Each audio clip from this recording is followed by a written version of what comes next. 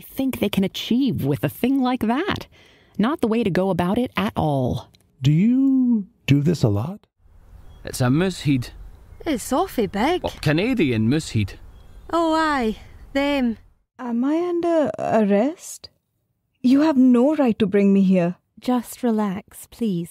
Turns out, Edinburgh Castle's actually quite a long way from Edinburgh.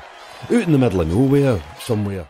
When Wally's sitting in the stern with the wire, feeling for the herring, shouts to Kruger, Keep her away!